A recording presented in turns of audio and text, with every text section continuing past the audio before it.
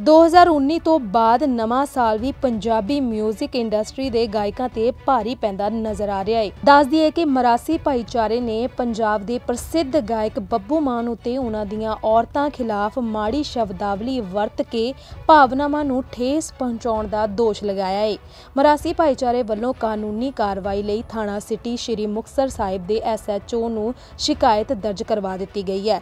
ਦੱਸ ਦਈਏ ਕਿ ਕੁਝ ਦਿਨਾਂ ਤੋਂ ਸੋਸ਼ਲ ਮੀਡੀਆ ਉੱਤੇ ਪੰਜਾਬੀ ਗਾਇਕ ਬੱਬੂ ਮਾਨ ਤੇ ਉਸਦੇ ਸਾਥੀਆਂ ਦੀ ਇੱਕ ਵੀਡੀਓ ਵਾਇਰਲ ਹੋ ਰਹੀ ਹੈ, ਜਿਸ ਵਿੱਚ ਬੱਬੂ ਮਾਨ ਮਰਾਸੀ ਭਾਈਚਾਰੇ ਦਾ ਅਪਮਾਨ ਕਰਦੇ ਨਜ਼ਰ ਆ ਰਹੇ ਨੇ।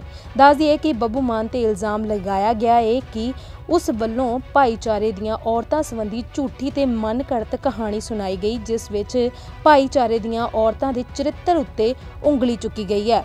ਭਾਈਚਾਰੇ ਦੇ ਲੋਕਾਂ ਨੇ ਮੰਗ ਕੀਤੀ ਹੈ ਕਿ ਬੱਬੂ ਮਾਨ ਤੇ ਉਸਦੇ ਸਾਥੀਆਂ ਖਿਲਾਫ ਕੇਸ ਦਰਜ ਕਰਕੇ ਸਮੁੱਚੇ ਮਰਾਸੀ ਭਾਈਚਾਰੇ ਨੂੰ ਇਨਸਾਫ ਦਿਵਾਇਆ ਜਾਵੇ।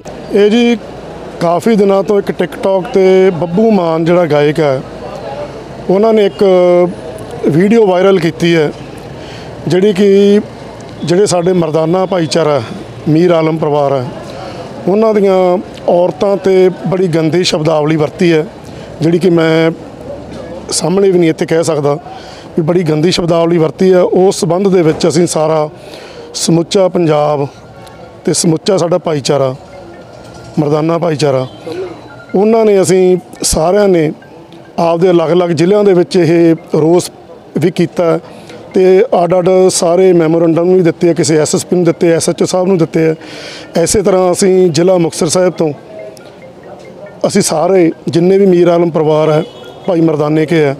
ਅਸੀਂ ਸਾਰਿਆਂ ਨੇ ਐਸਐਚਓ ਸਾਹਿਬ ਦੇ ਪੇਸ਼ ਹੋ ਕੇ ਉਹ ਜਿਹੜੀ ਬੱਬੂ ਮਾਨ ਦੇ ਬਰਖਲਾਫ ਦਰਖਾਸਤ ਦਿੱਤੀ ਹੈ ਜੀ ਵੀ ਜੋ ਸਾਡੀਆਂ ਔਰਤਾਂ ਦੇ ਉਹਨਾਂ ਨੇ ਮਜ਼ਾਕ ਉਡਾਏ ਆ ਬੋਲ ਕੇ ਅਪਸ਼ਬਦ ਜਿਹੜੇ ਬੋਲੇ ਆ ਉਹਨਾਂ ਦੇ ਉੱਤੇ ਸਖਤ ਤੋਂ ਸਖਤ ਕਾਰਵਾਈ ਕੀਤੀ ਜਾਵੇ ਉਸ ਸੰਬੰਧ ਦੇ ਵਿੱਚ ਅਸੀਂ ਸਾਰੇ ਭਾਈਚਾਰਾ ਇਕੱਠਾ ਹੋਏ ਹਾਂ ਇੱਥੇ।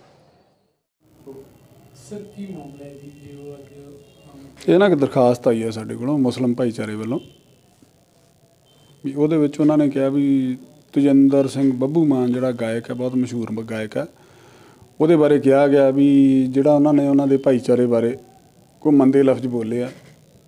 ਮਿਸ ਮਤਲਬ ਮਿਸਕੰਡਕਟ ਵਾਲੀ ਗੱਲ ਹੈ ਵੀ ਉਹਨਾਂ ਦੀ ਸ਼ਾਨੋ ਸ਼ੌਕਤ ਦੇ ਖਿਲਾਫ ਕੁਝ ਵਰਡਸ ਬੋਲੇ ਆ। ਉਹਦੇ ਬਾਰੇ ਉਹਨਾਂ ਨੇ ਦਰਖਾਸਤ ਦਿੱਤੀ ਆ। ਉਹਦੇ ਤੇ ਜਿਹੜੀ ਕਾਨੂੰਨੀ ਮਾਹਰਾਂ ਨਾਲ ਰਾਏ ਕਰਕੇ ਵੀ ਇਹ ਵਕੂਆ ਕਿੱਥੋਂ ਦਾ, ਕਿਵੇਂ, ਕੀ ਗੱਲਬਾਤ ਹੈ ਆਪਣੇ ਮਾਨਯੋਗ ਸੀਨੀਅਰ ਅਫਸਰਾਂ ਤੋਂ ਡਾਇਰੈਕਸ਼ਨਸ ਲੈ ਕੇ ਉਹਦੇ ਮੁਤਾਬਕ ਜੋ ਬਣਦੀ ਕਾਰਵਾਈ ਕਰਾਂਗੇ। Bureau report, Rangla TV.